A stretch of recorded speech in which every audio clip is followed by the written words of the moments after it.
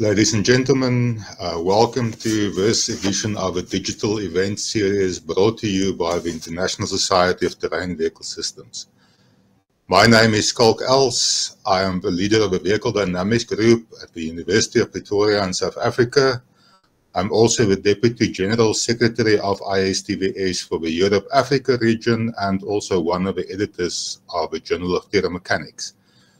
Uh, I would like to introduce our speaker this afternoon, um, my colleague, Dr. Herman Hamersma, uh, to you. Uh, Herman will talk to you about the work he's been doing for the last five years or so in terms of uh, off-road vehicle collision management systems and driver assist systems, especially applicable to the South African mining industry.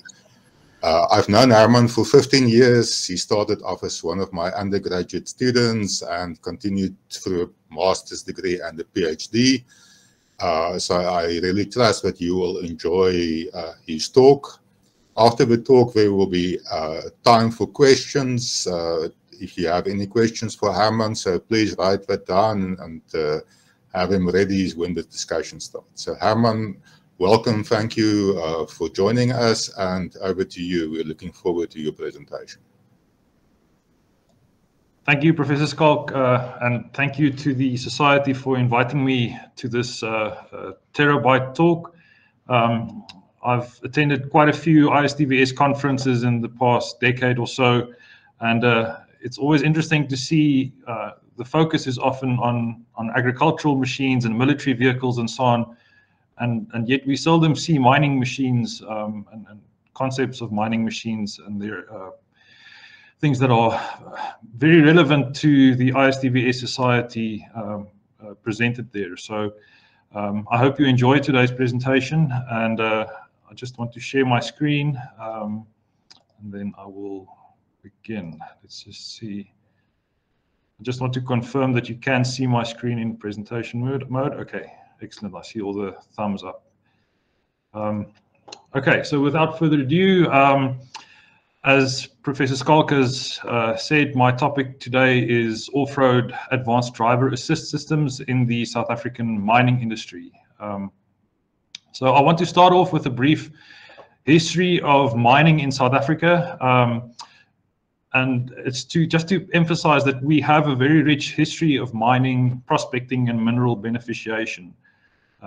Diamonds were first discovered in 1867, uh, and the city or town nowadays of Kimberley was founded in 1873. Uh, the largest rough diamond ever found in the world was found in Cullinan, which is just a few uh, kilometers away from Pretoria, where I am at the moment. Um, it uncut, it weighed 3,106 carats or 621 grams. Um, this was found in 1905 uh, it was cut into 105 stones, uh, and then the largest are actually in the United Kingdom's crown jewels, which we saw on display uh, recently. The Cullinan 1 diamond is 530 carats, and it's currently in the Sovereign Scepter with cross. You can see there in the bottom right. Gold was also discovered here in 1852. Um, this led to the gold rush at the Witwatersrand, um, which culminated in the establishment of Johannesburg, which is one of the largest cities on the African continent. Um, as a result, the Johannesburg Stock Exchange was also established in 1887, and you can see a Krugerrand of one fine ounce of gold, uh, 24 karat gold there on the right-hand side. Um, to give you an overview of what is actually mined, uh, South Africa is the world's largest producer of chrome, manganese, platinum, and vanadium. Um, there are other noteworthy resources um, that include gold, titanium, palladium, zirconium, uranium, iron ore, and coal. And you can see on the map of South Africa there on your right-hand side, um, it's mainly focused around Johannesburg here in the Gauteng area, but then there are other more remote sites, uh, some even towards Cape Town side down at the bottom left. Give you an overview of the industry. Um, the mining industry contributes 7.5% to the South African GDP. Um, this is roughly 490 billion rand in 2022, which is approximately $30 billion. Um, 475,000 people are directly employed in mining in South Africa, and each person has up to nine indirect dependents. Um, so the mining industry effectively supports around 4 million people in this country. The six deepest mines in the world are located in South Africa. Um, Mponeng gold mine is the deepest, that's four kilometers underground. TauTona gold mine is 3.9 kilometers, and Savuka gold mine is 3.7 kilometers underground. We also have some of the largest open pit mines. Uh, a notable one is the Sishen iron ore mine, which produces around 30 million metric tons of iron ore per year, and the Mogalakwena platinum mine, which produces 310,000 ounces of platinum per year. Uh, these are extremely big mines uh, with massive fleets of very large machines. To give you an idea of the technology that we uh, we see being used, um, the very deep mines really make for very, very challenging conditions. So we have extreme temperatures. Some of these mines have rock faces that exceed 60 degrees Celsius. Um, so you need proper ventilation. Some of the big mines pump ice slurry down uh, to cool the air. You have extremely high levels of humidity because you are beneath the water table. So um, it's not only very hot, it is extremely humid. And then, of course, you have very confined spaces because the more material you have to remove, the lower your profits. So we see stoping width uh, uh with as little as 0.9 to 1.2 meters. And you can see an example of that in the image on the top right. Um, these very, very dangerous and hazardous working conditions result in a relatively poor safety record, um, unfortunately. So um, in an effort to protect the workers, more and more mines are mechanizing, um, moving away from conventional mining where you still have a manual uh, drill and so on and trying to get as much machines involved as possible so you can remove as many people as you can from the hazardous environment. We have approximately 2,000 loss of time injuries reported annually um, and fatalities have definitely reduced from 270 in 2003, which is terrible, down to 49 fatalities reported in 2022. Um, this is a trend that has kept on decreasing, and we hope it continues in that direction through applying more and more technology to the problem.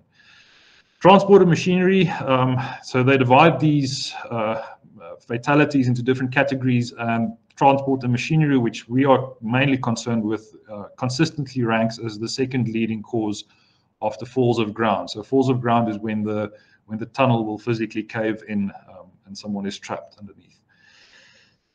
When we move to surface mining applications, it's quite the opposite. Um, so we have very, very large machines, as you can see there on the right-hand side.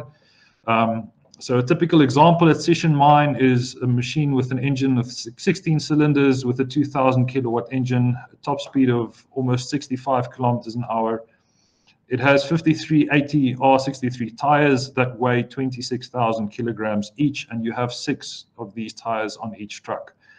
It has a nominal payload of 290 metric tons um, and a nominal GVW of 521 metric tons. This is absolutely massive. Um, the first hydrogen-powered haul truck is actually uh, operating at the Mogalakwena Platinum Mine um, and it has a 1.2 megawatt hour lithium ion battery. So really some unique technology um, being uh, used in the South African mining industry. To give you an overview of where we are now, um, the mines are adopting technology to improve safety, uh, as is evident. We want to remove those workers from those hazardous environments, but we also want to improve production. So mining deeper, mining faster, mining cheaper, mining cleaner. Um, all of these are are some of the, the goals of using technology um, and trying to remove as little material as possible so that you, you can have as much profit as well. Specific here in South Africa, we have new regulations uh, that were recently promulgated in December of 2022 and summarized these regulations require automatic emergency braking uh, for both surface and underground mines. Um, there are specific requirements, um, but summed up, Vehicle-to-vehicle uh, AEB is required for surface mines and vehicle-to-pedestrian is required for underground mines. This is based mainly on the, the type of incidents that we have in the two, two types of mining, um, where on surface mines, uh, it is unlikely that you will have vehicle-to-pedestrian interaction and underground, um, the, the interaction is more vehicle-to-pedestrian. Um, as far as I know, South Africa is the only region that is actually mandating the use of technology, definitely to the extent that we are uh, to prevent these collisions. So if we move more towards how the technology actually works, uh, it's the same as any other autonomous type system. So we can typically divide this into four key um, objectives. The first is to sense. We need to collect data of the real world. We need to uh, perform measurements. Um, we then need to perceive. So we need to interpret this data that we are measuring um, to better understand the, the physical world in which we find ourselves. When you have this information, you need to plan. So that will typically mean you need to find a path, you need to figure out what to do, and then finally you need to act. So you need to follow your path. You need to implement the plan that you that you have made. So if i look at these four phases the first is i'm sensing. So the question i'm asking is where am i and what am i doing? So we typically see the sensing as uh, the aim has is twofold. So the first is situational awareness and the second is self-awareness Situational awareness is concerned with localization. So I typically want to answer the question, where am I? And where are the other objects relative to me? From the mining perspective, this is typically more challenging underground. Um, because underground we have limited line of sight, we are in a tunnel, um, we have no satellite coverage, um, and the products that we see in the market are typically reliant on RF time of flight technologies using ultra wideband or other frequencies, um, but, but these are the typical sensors that we see suppliers uh, using underground.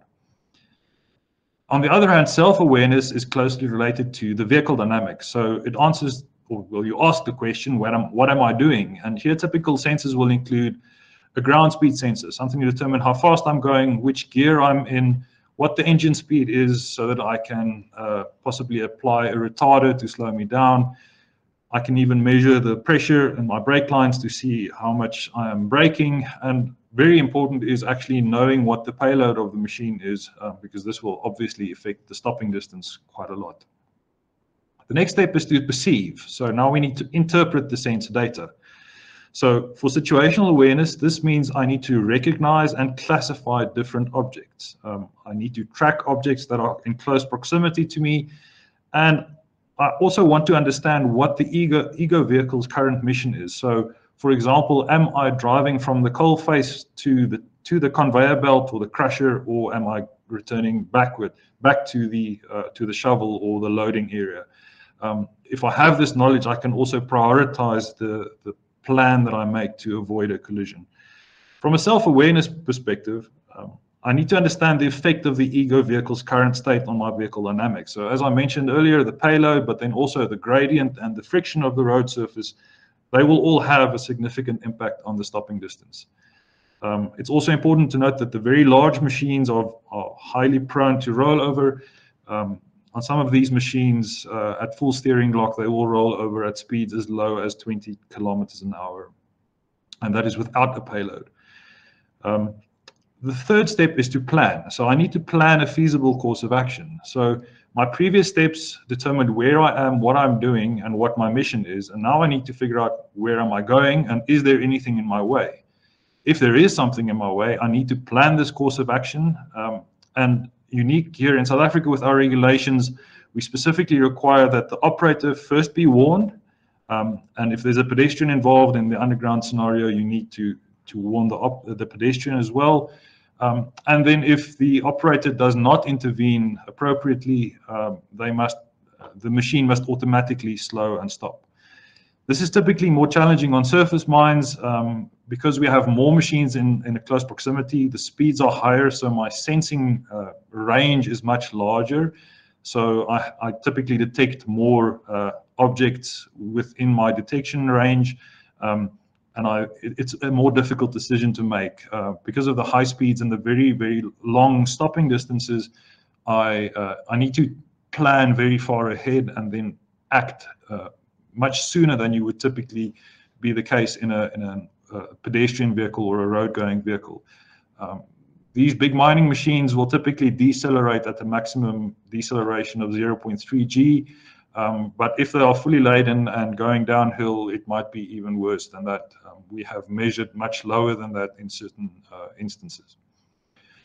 The final phase is to act.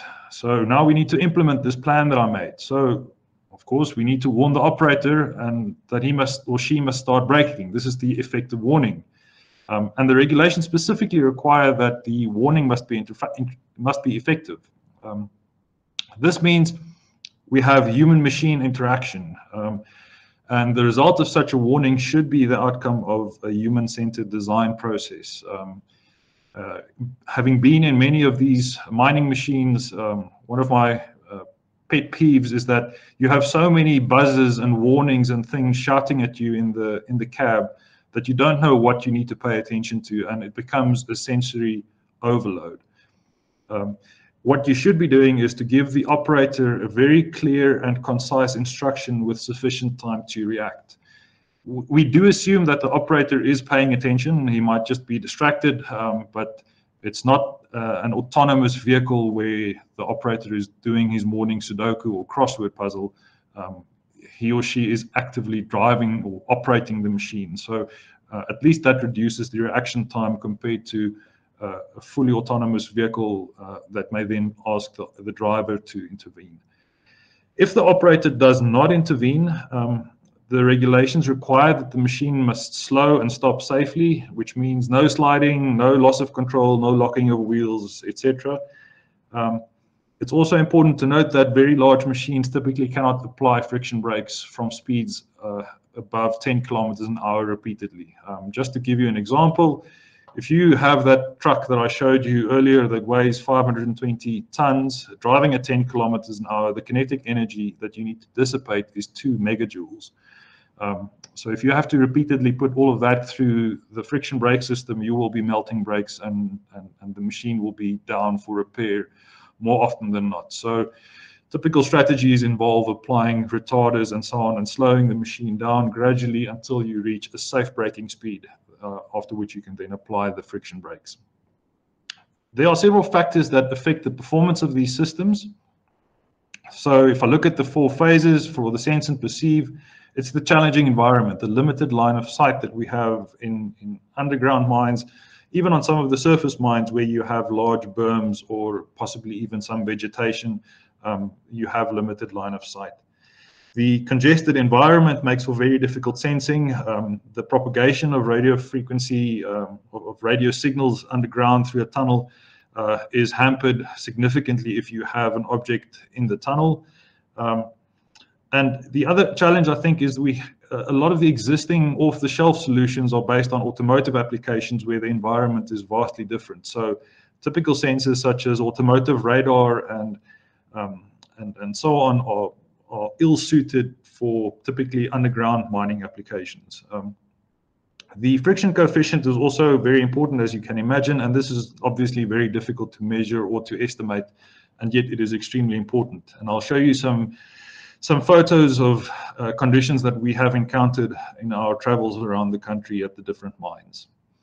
If I look at the plan and act phases, um, the big challenge is that these machines are so slow to respond. Um, they, first of all, take long to start braking once you tell them to, and then the deceleration is very slow, meaning you need to plan very far ahead, as I mentioned earlier.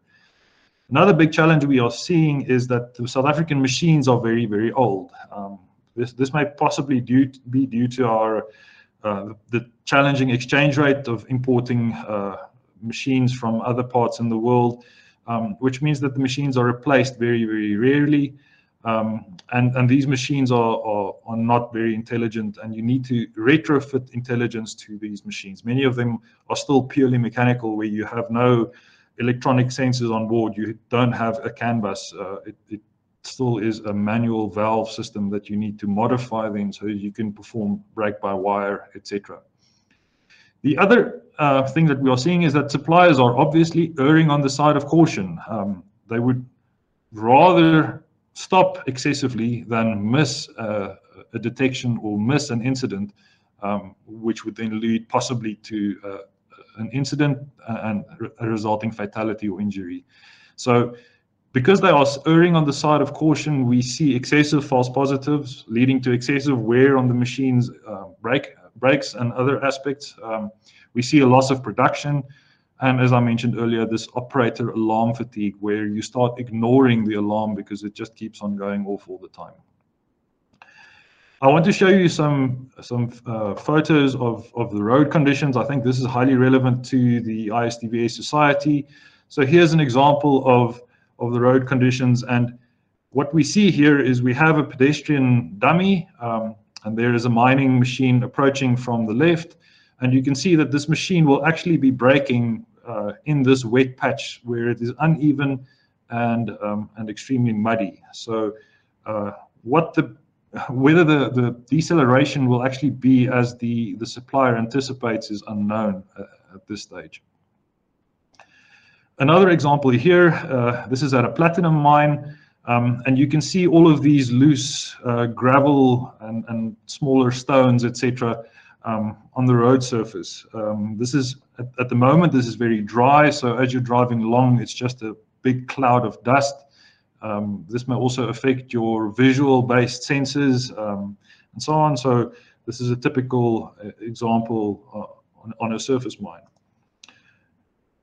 This is on this exact same mine, and you can actually see on the haul road on the right-hand side, the water bowser has been passed, and there's a definite darker shade of gray on the right-hand side. So it means that the road is wet on the one side of the road, but it's bone dry on the other side. So the water bowser has actually been up the up the hill. It's probably turning around somewhere and will be coming down uh, eventually. Um, so the road surface condition will change consistently throughout the day as the water bowser suppresses the dust and then this is in the Rustenburg area, so we in the summer typically expect temperatures above 35 degrees Celsius, so the water evaporates and it becomes bone dry again. So accounting for where the water bowser is uh, is, one example of um, like taking the friction and change in friction condition, uh, friction coefficient into account. Another example here is where we actually were testing um, with two machines and you can see that the colors of the road surface here are quite different, and that's because this is right next to a stockpile. Um, so there's a lot of gravel um, from the stockpile. So uh, here, that's the white on the on the image. You also see a, a wet area here on the right-hand side, and you see a clear case of rutting forming um, as we are maneuvering and driving around here. Um, this means that you you will have varying friction coefficients all over the place. Um, I think my final example of different road conditions, this is at a, a surface coal mine. And if you look closely, you can actually see the uh, the tracks moving into these puddles um, uh, and so on. And there's so it goes from bone dry dust uh, to to 100% saturation uh, in a very close area.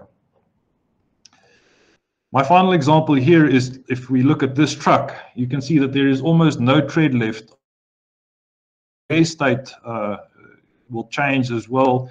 Um, and, and this is one of the challenges that the suppliers of these products have to address is that they need to account for different wear states and different braking performance. And this will vary from each machine to each machine depending on its condition. Next up, I want to discuss our role in the industry and, and, and what we've been doing. We've been involved in this for at least the last seven or eight years. Um, and we are currently funded by the Minerals Council of South Africa. Um, and the first project that we, we did for them, uh, together with some other suppliers, was to apply a systems engineering approach to, to the collision prevention system conundrum. Um, in the past, there were no clear guidelines. There are no ISO standards, at least not, um, uh, well, when we got involved, there were no ISO standards relating to this. So um, it was a bit of a myriad and a, of solutions and problems, and nobody really knew where to start and, and what to do.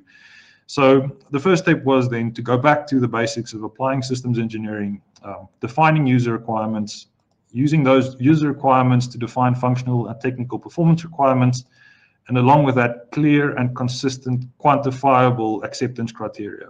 Um, along with the acceptance criteria is a standardized test specification. And the aim of this is to provide guidance to the industry in how these systems should perform and then how you can confirm that they actually do what they are supposed to do. Subsequent to that, we are currently in the process of developing a test capability to execute all of the tests um, defined in the test specification. We are also focusing our research on collision prevention system shortcomings um, with our main contribution at the moment focusing on planning and acting, those two phases. Um, that's really where we are, are focusing our effort because that's more on the vehicle dynamics side of, uh, of things. So to give you an overview of the test instruments that we have recently procured through funding from the Minerals Council, we have uh, on the left, you see a VBox 3i, it's an RTK high precision GPS system. We have four of these kits uh, in our lab at the moment. On the right is a RaceLogic uh, VBox, but it's a standard precision, it's just a Sigma. We have several of these as well. Um, this, is, this allows us to test complex multiple interactor scenarios um, uh, as you would typically encounter on a surface mine. If we move to underground testing, uh, on the left, we have an, uh, an indoor positioning system also from RaceLogic. Uh, it also uses the ultra wideband um, sensing or ultra wideband uh, radios. Um, this is limited to line of sight, um, but it is sufficient for testing um, in, in underground applications where we do not have uh, satellite coverage. Um, these, however, only give us uh, the, the range or the position. Um, so to measure the ground speed, we have ground speed sensors uh, that make use of uh, radar technology to measure the ground speed directly. So this is for our underground uh, test, um, the underground test that we have to do. We then also have several brake robots, as these are actuators shown here on the right. So we can actually uh, install these brake robots on eight uh, light vehicles to test the, uh, the systems before we start testing on a mine. And we've recently acquired a drone to film all of the um, all of the tests that we do to improve our communication with the wider industry. To explain our test approach, uh, it's based on the NASA TRL levels, moving from TRL 1, which is the basic principles, all the way through to TRL 9, which is successful mission operation. And we can broadly divide these into three phases where you have development testing at the lower TRL levels, moving to verification testing from TRL 4 through to TRL 7. This is typically in a controlled environment, such as a proving ground or in our laboratory. And then at TRL 8 and TRL 9, we move to validation testing where we are confirming the results we saw at the verification stage in the operational environment. Um, and, and following this approach uh, allows us to, to do safe tests to start off with. Um, it, it is quite dangerous to test with real mining machines uh, for the first time. So we want to make sure we've ticked all the boxes and all the I's have been dotted and T's have been crossed uh, before we start testing with heavy machines where we have a very small room uh, for error. Um, so to give you an example, here is one of our test vehicles that's been instrumented with uh, an underground system. We also have our pedestrian dummy you saw on the earlier photo, um, typically with a tag in his pocket. You can see here uh, in his pocket. So this will typically be used uh, at the TRL4 stage test. Uh, our Land Rover there on the left has been instrumented with a brake robot. Um, we have a dSPACE micro autobox install, installed that we use as a data, data acquisitioning system and as a, a control system. Um, and we use that to control our brake robot. So here you see a video of the brake robot in action where it is physically pulling the brake of the machine. So we make these vehicles available to the industry uh, to come and test, and then we follow the standardized test specification to evaluate the products against the acceptance criteria that have been formulated. And then here is an example of a test that we've done um, at the proving ground. So we have the pedestrian here on the left. The test vehicle will be approaching and turning towards the pedestrian um, to see if the system will actually slow and stop the machine.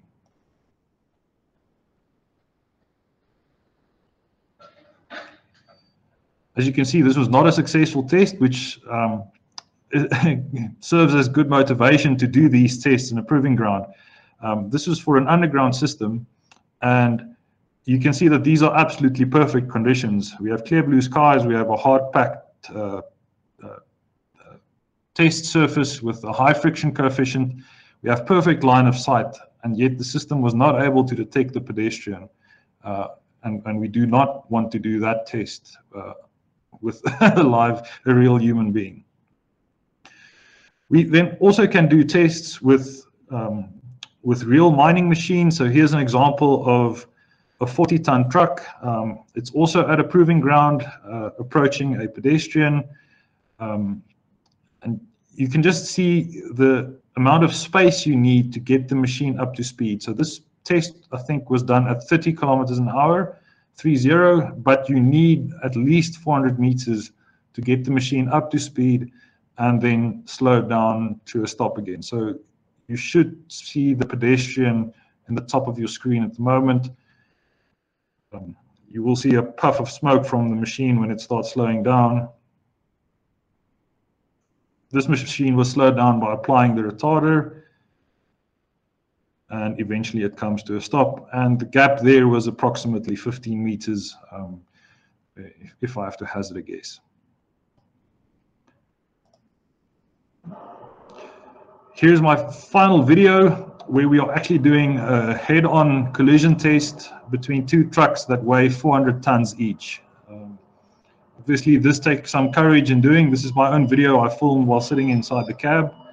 Um, fortunately, because I'm talking to you today, you can know that the test was successful. But before you are in a position to conduct a test such as this, it is really important to very, very meticulously and rigorously test these systems um, so that you can ensure the safety of everybody involved. To finish off, um, I think it's it's clear that we are faced with unique and challenging regulations here in South Africa.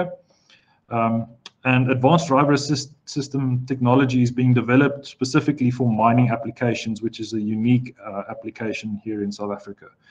We have very challenging environments, both for sensing and for control, and, and understanding the tire terrain interaction and the effect that that has on the vehicle dynamics, and in this case specifically on the braking distance, has never been more important. Um, as the vehicle dynamics group uh, here at the University of Pretoria, we are heavily involved in this. Um, we are actively researching the tire terrain interaction. Um, I'm sure you've seen some of the work by my colleague, Dr. Carl Becker. Um, we are also developing our own control systems for autonomous emergency braking in mining. Um, we are testing and evaluating commercial products with our tailor-made test instruments, and we are advising industry leaders on the technical aspects um, pertaining to collision prevention systems in the mining industry thank you very much for your attention. Um, look forward to any questions and any uh, any engagement. Um, so please don't hesitate to to contact me should you have any questions. Thank you. Uh, thank you, Herman. Uh, ladies and gentlemen, the floor is open for questions. If you have a question for Herman, please unmute yourself uh, and we will try and ask you, answer your question as well as we can.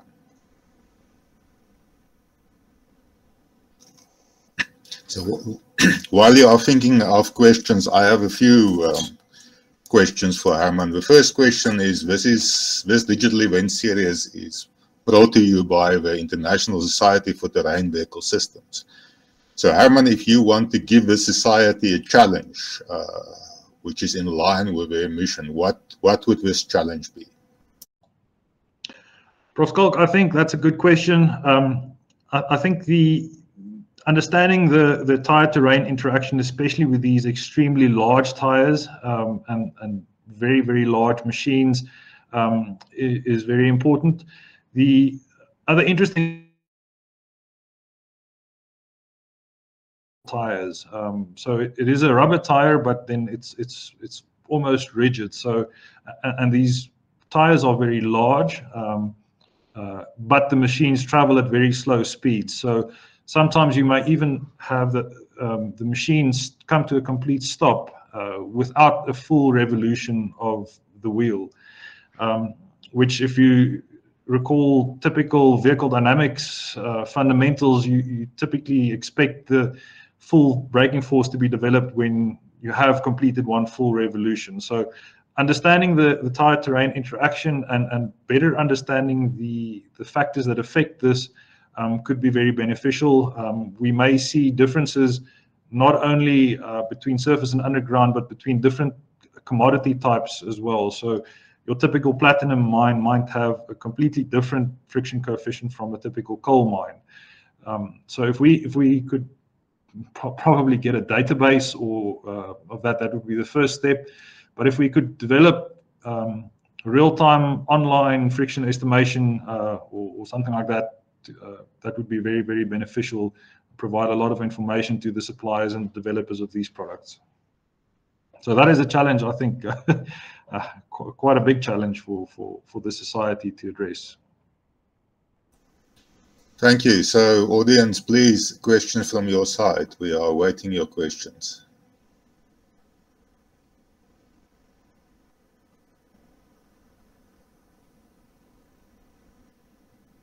So as you might know, I'm a lecturer. I've been at the university for 25 years. So if the students don't ask questions, then I start asking questions to the students. So, so please uh, send us your questions or, uh, so that we can try and discuss them.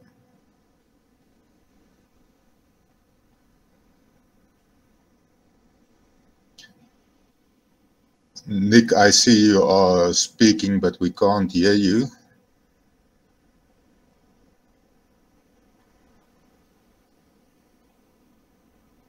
Uh, maybe it's just me, but uh, maybe and try, try to unmute your mic. Try again. Can yes, that's good. Thank you. We can hear you. Uh, good afternoon, Prof. Schalk. Good afternoon, Herman. Um, Prof. Schalk, I was going to say, I, th I, thought you'd sort of pick on your students as opposed to sort of volunteering a question on their behalf. Um, anyway, Herman, thank you very much. Um, I, I, think just um, first question is, um, obviously some of your videos and pictures there was Gerotek, um, and I've been with you at Gerotek, you know, running some tests. Um, and you you did ask, almost answered my, my question with your last picture or the last test there, where you had a, um, where you were doing on-site on-site testing. Have have you got to a stage now where you are doing, I suppose, more on-site testing than you than you than you are doing at Gerotek? And then my second question is, um, one of the examples you showed um, was the Land Rover turning into the into the dummy. Obviously, that's a very complex scenario. Um, how how how how how do you think the, the the systems have matured to handle these these more these more demanding and complex scenarios? Thank you. Hi Nick. Yes, uh, I think uh, good questions. Um, your first one on testing a Gerotek and then uh, moving more to the higher levels of, of testing, um, we are definitely getting more requests for testing at the at the higher TRL levels on site. Um, I think what is very important is that before you move to on-site testing, you need to be really sure that the system um, has been properly vetted uh, at the lower levels. And unfortunately, due to the the pressure the industry is faced with um, by the regulator um, demanding them to to implement systems that are possibly not completely ready. They they want to jump the uh, jump the gun and start testing on site. And um, we actually had a very close call with with an incident with a test the other day uh, on one of these sites uh, with one of these tests where the the supplier and the mine and so on they were all willing to take a shortcut um, and, and take a few risks. So unfortunately, you know, that that's a very, very big exercise to get everybody on the mine, pull machines out of production. Um, uh, I can't imagine what all of that cost just in terms of opportunity cost. And in the end, the recommendation was, let's go back to Gerotek and do the basic test because the, the supplier had tested four or five years ago, um, but obviously it subsequently continued developing their product. Um, and and the, the version of the product that we tested on the day had had not been vetted at the at the lab scale TRL4 level properly. So um, we, we can move towards on-site testing, but we should not um, miss the important verification steps at the at the lower levels. Um, what we are seeing in terms of for your que second question, um, in terms of the intelligence of the uh, of the systems, um, a lot of it is based on uh, on the sensor data that they that they get um, or they are able to do. Um, we've seen some examples where uh, you know something as complex as lidar technology has been used to autonomously move a, a drill rig around. Um, so it's entirely possible to do that, um, but it comes at an extreme cost. Uh, so the more inf proper information you have and as sensor technology improves, um, I think the barrier to entry and, and, and, the cost involved will become lower and lower. Um, and we'll, we will see more mature uh, systems. I, I, also think that um, getting more information on what the machine is actually doing, um, having more sensors on board, for example, if you could get steering angle or articulation angle or something like that, um, that could help with a scenario as I showed earlier where we actually hit the pedestrian.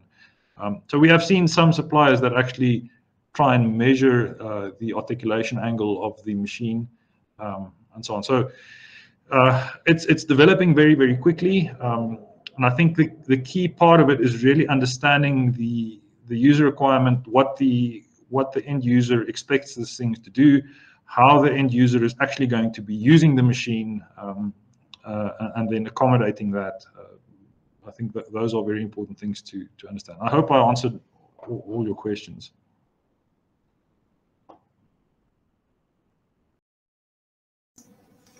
So thank you, Herman. There are uh, two questions in the chat. Uh, one from Alex, who says, how much international interest is there in developing harmonized safety standards for large surface mining machinery? Um, yes, there's definitely uh, interest. Um, and of course, there are some existing standards, uh, especially for uh, brake specifications and so on. I can think of the ISO 3450 standard for, for earth moving equipment for uh, it defines the braking specification. Um, there is a new series of ISO standards, the ISO 21815 series, uh, specifically also looked at, uh, aimed at collision prevention for earth moving machinery. Um, uh, and I think the first two parts of that series uh, have now been published. Um, but this is developing very, very slowly, um, uh, as is the norm for, for standards, just due to the, the, the process that this follows. Um, I always use the example that we are at really at the infant stages of this technology. It's similar to when Henry Ford had built his first automobile, not the Model T Ford even, just the first one that he got up and running in his kitchen uh, in the late 1800s. Um, you know, he was driving around between horse-drawn carts and carriages and so on, um, and there were no brake specifications or or anything of the sort. It was only later when we had enough uh, vehicles on the road that the National Highway Traffic Safety Board uh, was formed and, and that there were actually brake specifications and safety belts and lights and all of these things uh, installed and required on the from the machine. So um, we, we really are in the beginning of this. Um, I think many of the suppliers that we interact with, they, they feel that they now have a working product. So here we are, here we go. Um, but we're really in the beginning of the technology S curve. So um, we don't really know where it's going to end, um, but it's developing very, very quickly. So to stay on top of things is, is, is really challenging at the moment. But uh, as a researcher, that's that's really a fun environment to to be in. Um, yes. So we have a question from Robin, uh, and he asks, what state estimation techniques have you used thus far? How effective have they been? Um, yeah, so um, we think we so some of my postgraduate students have um, have been actively working on on some of the control systems. Um, the application of real estate estimation in, in the classical sense of the, the term, we, we haven't seen that much. Um, I, I, specifically recall one interaction with a supplier where he told me that he'd heard of this guy called Kalman, um, but he, he's hesitant because it sounds very complicated. um, th this was a long time ago, though, so uh, it, it was more a tongue-in-the-cheek remark. Um, I think sensor fusion is, is absolutely critical here. Um, if you if you rely on a single uh, measurement or a single type of measurement, you are are really exposing yourself to um, to to some risk uh, just due to the challenging nature of, of sensing. Uh, even something as simple as as GPS, uh, you know, it's prone to drop out um, even under perfect conditions. And then when you are uh, operating in in an open pit, where you may even have, have very limited satellite coverage even on the Earth's surface, just because you are so deep in the pit. Um, that, that presents a risk. So, key to this is is properly uh, sensing your environment and, and then relying on sensor fusion to to combine measurements from different sensors. Um, of course, what you what you would uh, you can just imagine with some of these big trucks, you won't be able to install, for example, a single LiDAR that gives you a 360 degree view. You will have blind spots. So stitching together multiple uh, sensors or using, for example, multiple cameras positioned around the machine, uh, that, that's really important. And then properly blending or combining these, these um, sensors um, is really important.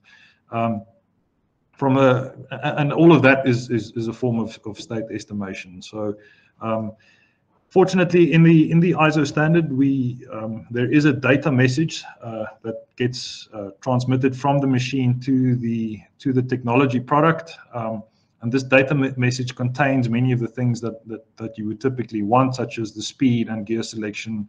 Um, you can even, if you have it available, transmit the uh, or communicate the payload. Um, but there are other aspects that I think are missing that are quite important, such as the steering angle uh, and so on. So um, yeah, it's it's we're seeing a plethora of approaches, um, and and the jury is still out on what the best approach is. Um, but I, I, think it's still out there. Uh, we're still heading towards it. Okay, we have another question from Aslan. Uh, he asks, uh, would a fully autonomous transport system be in consideration for the safety development process? Is this feasible?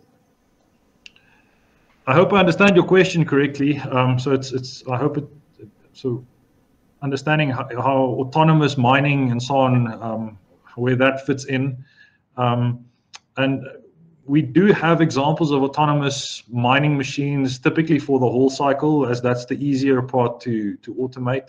Um, there are some examples in Australia uh, and elsewhere in the world where they have mines effectively running the whole whole cycle uh, autonomously. Um, so th that is definitely, from a technological point of view, an option. Uh, also, I think it's it's still in its infant days, but uh, mining is a process that lends itself to to full autonomy because it's a very repetitive, monotonous thing. You keep doing the same thing. You pick up the muck, you put it, move it somewhere, you put it down, and you drive back and you pick it up again, and you keep doing that for hours and hours on end. So um, it's also an environment that that you can map uh, ahead of time, so you can have uh, a priori information available um, to your system, so you can uh, position yourself in in the environment quite easily. I think it's it's easier than than uh, the urban environment that I mean, it, it, changes with every mission profile. Every time you get in your autonomous vehicle, you want to go somewhere else. So, um, from that perspective, mining is is I think, a, a step towards full, full autonomous um, vehicles. I think in South Africa, um, the the challenge there will be, um, you know, if you if you remove the worker from from the mine, um, yes, it's safer, but there will be some unhappiness uh, from our workforce. So uh, that's a political question uh, that that uh, that needs an answer. But we need to tread very carefully. Um, as with any mention of autonomy, uh, the implication is that the the workforce, what they do, will change. Um, uh, so you will still have a breakdown. You will still probably need to get some form of a mechanic or an electric, auto electrician or something like that close to a mining machine at some point in time. So um, you can probably get to a point where you can remove a lot of the people from from the hazardous areas, but you will need to still cater for specific um, circumstances, outliers where you, you may need to be very careful with what you do. So, um, yeah, still don't know really what the answer is, but those are my thoughts. Okay, another question from Haitam. He asked about the vision methodology. Uh, he says, the time delay problem for braking the vehicle, how do you overcome this problem? Uh, so I understand this question. But I, I hope I understand you. So, so if, you, if you use uh, vision met methodology, then there's a time delay um, in processing and that can have an effect on braking the vehicle. Yes, um, th that is true. Um, so I'm not sure how to answer it, but uh, if I have to speculate, um, so we've not used uh, uh, vision sensors uh, ourselves for this uh, for the testing, but um, I think if we look at the application, um, the speeds are for underground machines. We're typically looking at between 10 and 20 kilometers an hour uh, top speed. Um, for the big mining machines, we typically expect 40 to 50 kilometers an hour. Um, so that's much slower than highway speeds, um, which hopefully will give you a bit more processing time um, for, for your visual strategy.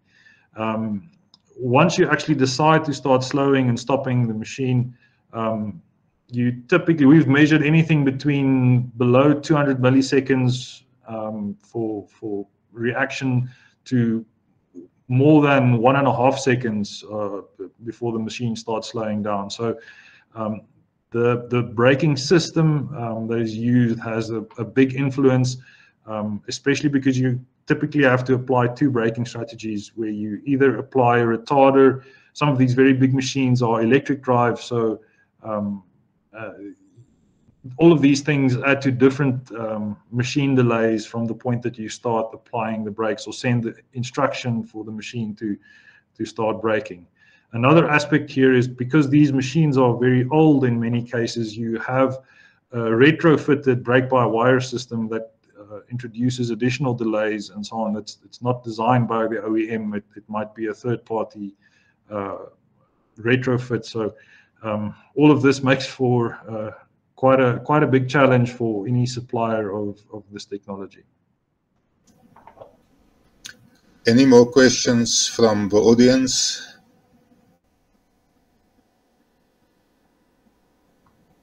Maybe uh, before we wrap up, one last question from me, and, and maybe just a short answer on, on that.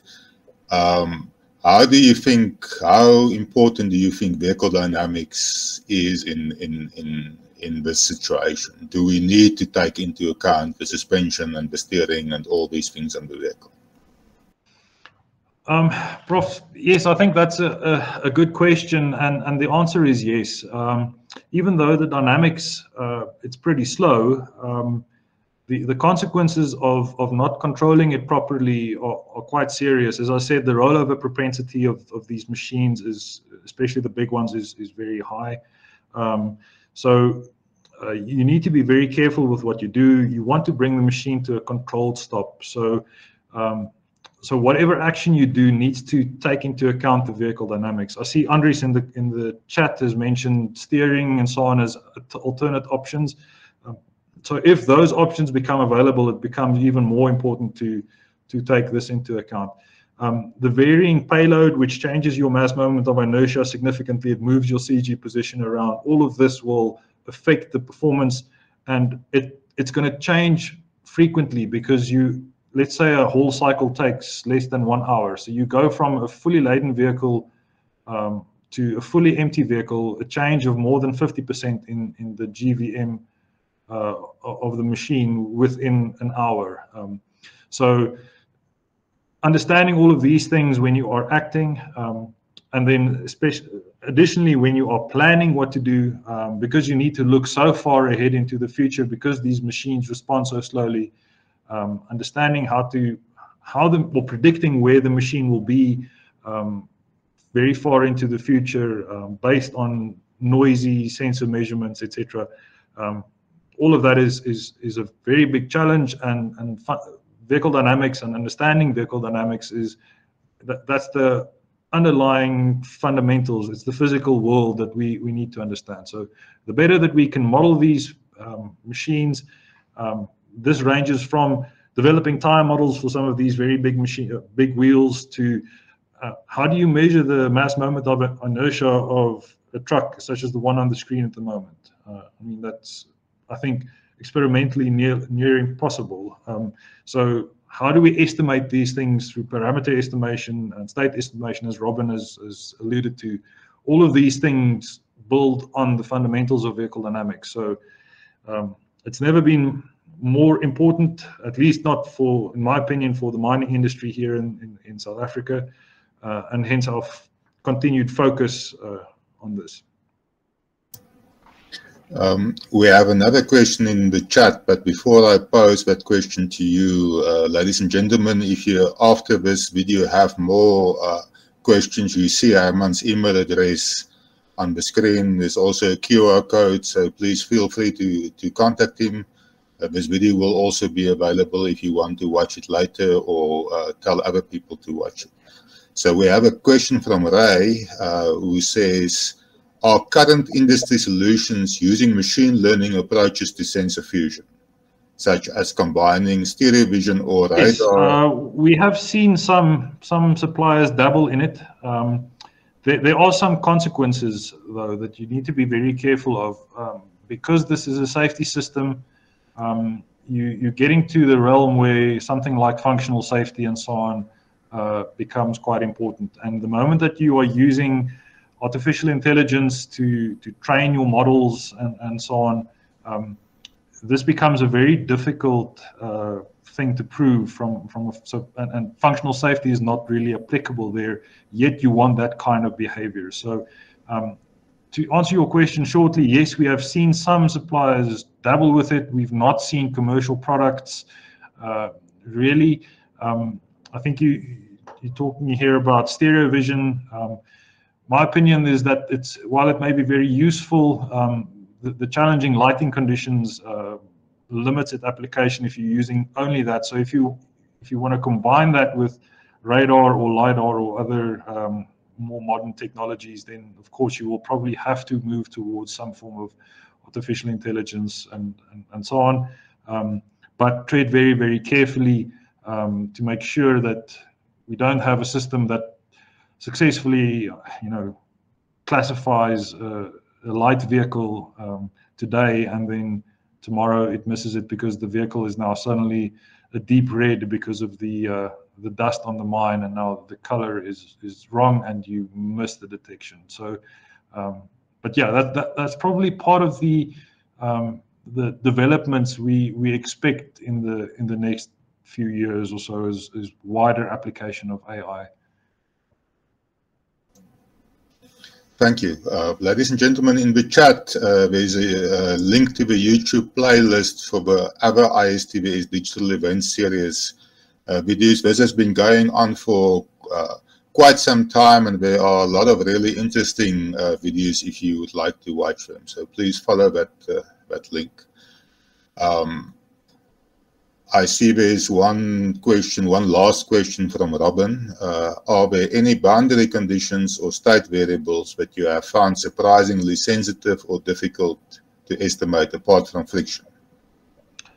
Um, yes, good question. I think um, the the answer is yes, but it's for for a strange reason, and and that is that many of the machines actually have onboard sensors but they are hesitant to provide this information to the third party uh, supplier that has to actually slow and stop the machine. So something like the payload um, is is absolutely crucial, and, and many of the machines can actually measure it, but they don't want to provide that information to the supplier. So now what do you do? You how do you actually uh, tap into that, or how do you estimate that? Um, so, so that that I think is is is probably the first thing that springs to mind um, when when I think of these these options. As, as, you mentioned, friction I think is is absolutely critical. Um, but but yeah, I think payload is is is the big one, and then uh, steering angle. So um, again, to measure steering angle, uh, to go and retrofit that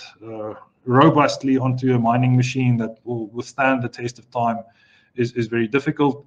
Um, what we are seeing is uh, suppliers are using IMUs and gyroscopes and magnetometers and so on to try and measure the the, the yaw rate um, and then then plan or predict the path that the machine will follow based on that um, with with varied levels of success. So um, some of it that if you think of a passenger car is something that's very easy to measure becomes quite difficult when you when you're faced with these very big machines. Um, so ladies and gentlemen, the challenge is out there. Lots of nice technical problems to solve for academia and practitioners and researchers working in the field of terrain vehicle systems.